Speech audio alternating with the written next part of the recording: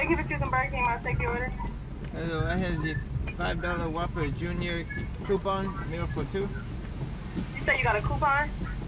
Yes, for the Um, what's the numbers on the coupon? six three zero zero.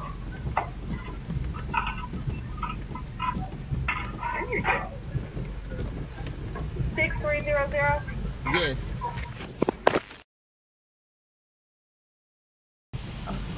Coke. Uh, Coca Cola, please. Coke.